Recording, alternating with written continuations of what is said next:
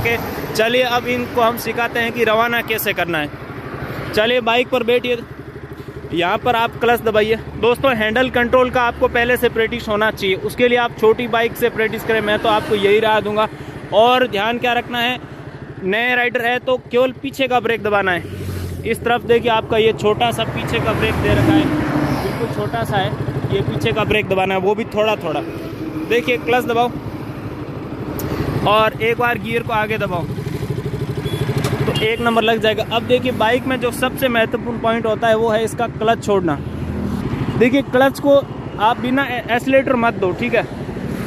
मतलब बिल्कुल जो है, उसको कम रखो और थोड़ा टाइट पकड़ो दोनों हाथों को। अचानक क्लच छोड़ दो।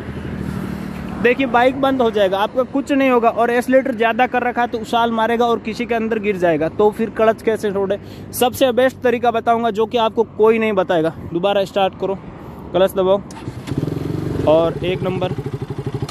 ठीक है। अब देखो क्लच को धीरे धीरे छोड़ो। ध्यान से देखिए दोस्तों। एक पॉइंट के बाद देखिए, जब आपका क्लच इतना छूटेगा तो अपने आप बाइक रवाना हो जाएगा। हाँ हाँ चलने दो चलने दो चलने दो।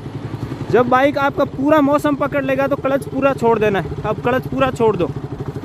देखिए, क्लच पूरा छोड़ दे, आपका स्मूथली बाइक चल रहा है। समझ आ गया कैसे छोड़ना, एक पॉइंट के बाद आपका बाइक अपने आप चलना शुरू हो जाएगा और जैसे ही बाइक थोड़ा मौसम पकड़ेगा तो क्लच पूरा छोड़ देना है और एसिलेटर बढ़ा देना अब गियर कैसे शिफ्ट करें वो सीखते हैं।